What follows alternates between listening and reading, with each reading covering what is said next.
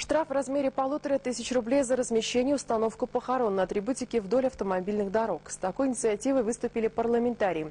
Законопроект находится на рассмотрении в Государственной Думе. Какова реакция граждан, родственники которых трагически погибли на дорогах края, и что делать с уже установленными памятниками? Ситуация разбиралась Елена Занян.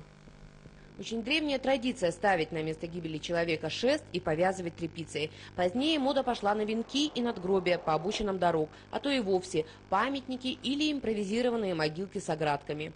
Весной 1993 года на этом месте произошла трагедия. В ДТП погиб молодой человек. Родственники похоронили его в Грузии. Это единственное место, куда приходили в память об усопшем его друзья, оставшиеся в Забайкалии. Они же и установили памятник. После проведенных дорожных работ работ на этом участке памятник снесли. Мы каждый год, как бы после того, когда он разбился, приезжали сюда. Ну, как бы в день его гибели, годовщину.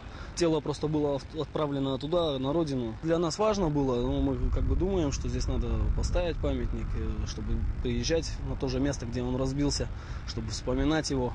Законов, регламентирующих установку таких памятников на обочинах дорог, нет. Лишь косвенно правовые отношения в данном вопросе регулирует федеральный закон номер 257. Там четко разъясняется, кто и при каких условиях может заниматься строительством, установкой различных конструкций на прилегающих к трассе территориях. А вот ответственности за снос, например, таких ритуальных раритетов, никто не несет.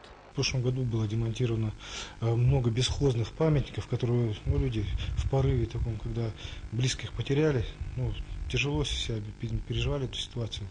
Они, э, значит, памятник-то установили, а потом либо сами уезжали куда-то отсюда, либо, ну, может быть, сами уходили в мир иной, а за памятником никто и не ухаживал. И во что это превращалось? Они зарастали травой, засыпали, засыпались землей, таблички обветшали, ни фотографий, ничего. Ну, то есть это неуважение получается уже к усопшему.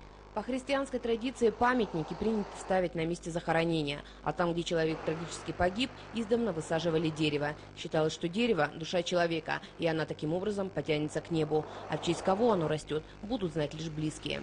На места погребений на, несли именно живые цветы прежде всего. Эти вот видимые знаки вот, э, об усопших, они уместны не на обочинах дорог, они уместны на, на кладбище. Законодатели предлагают не просто очистить российские автодороги от несанкционированных памятников, а штрафовать тех, кто их устанавливает. Будет ли этот закон в случае принятия эффективен, сказать трудно. Многое зависит от самих россиян. Дорожники отмечают, уже сегодня памятников на дорогах становится меньше.